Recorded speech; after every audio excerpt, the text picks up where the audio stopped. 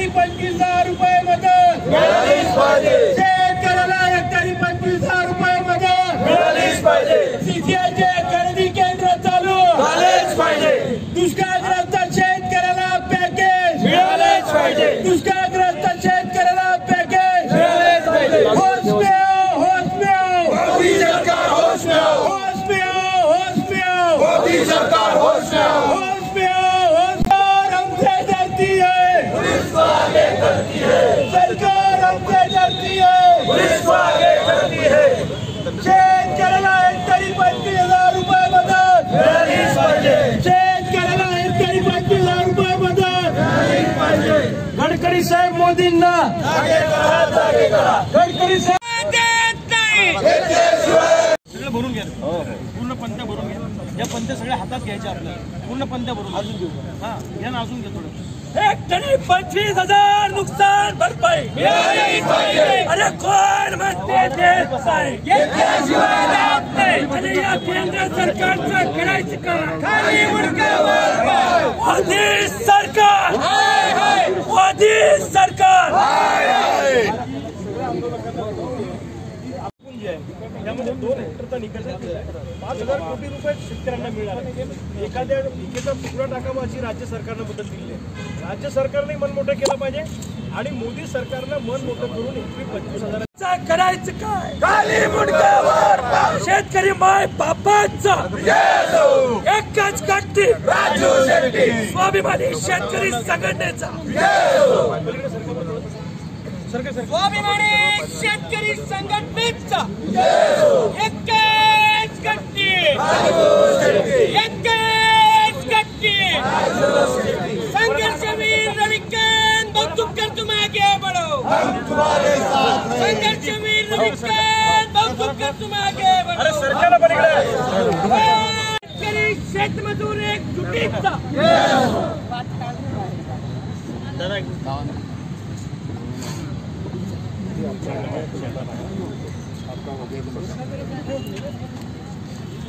शैलजा हे आंदोलन जे आहे ते नागपुरातलं ते संविधान चौकातनं सुरू होणार आहे आणि ते केंद्रीय मंत्री नितीन गडकरी यांच्या निवासस्थानासमोर जाऊन शेतकऱ्यांना नुकसान भरपाई!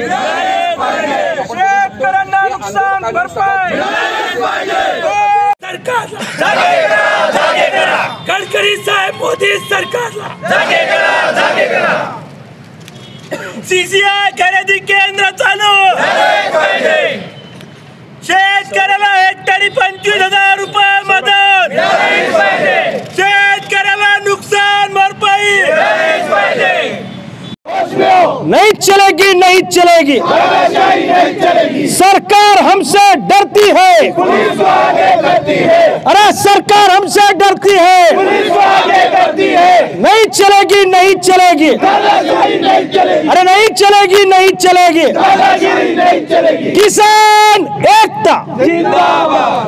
किसान एकता.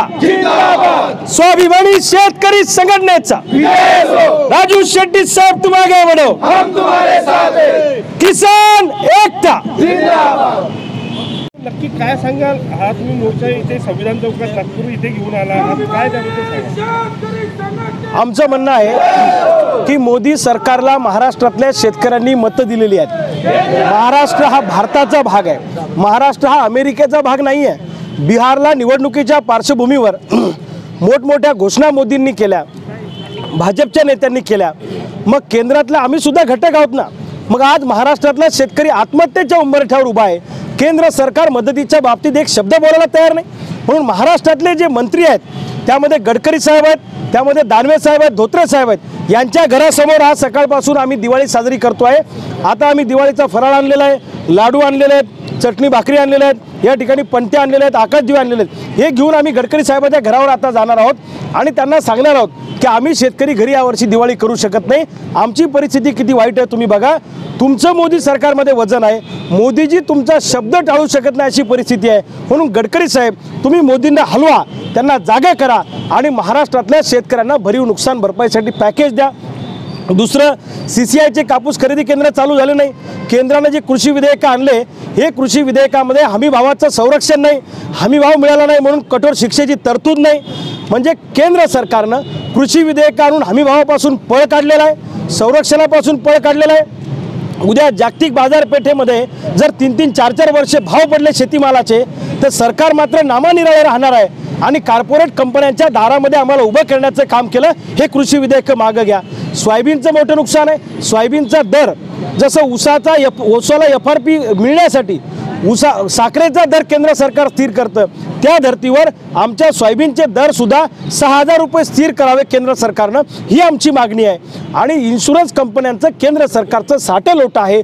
आम्हाला कंपन्या इन्शुरन्स द्यायला तयार नाही. तातडीनं त्या कंपन्यांकडून आम्हाला इन्शुरन्स मिळून दिला पाहिजे. या आमच्या मागण्या घेऊन आम्ही गडकरी साहेबाच्या घरी जाणार आहोत. आणि त्यांना आम्ही रिस्पेक्टफुली विनंती करणार आहोत की गडकरी साहेब मोदी साहेबांना सांगा ना आम्हाला मदत द्या. ही आमची मागणी आहे.